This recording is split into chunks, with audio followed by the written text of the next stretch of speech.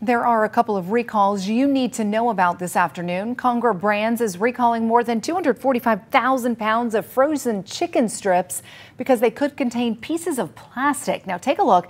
The affected cartons say banquet chicken strips meal on them. They have the best if used dates of December 11th, 2024, January 1st, 2025, or January 7th, 2025. The USDA's Food and Safety Inspection Services confirms there has been one reported injury. If you have this product, you're urged to throw it away or take it back to the store.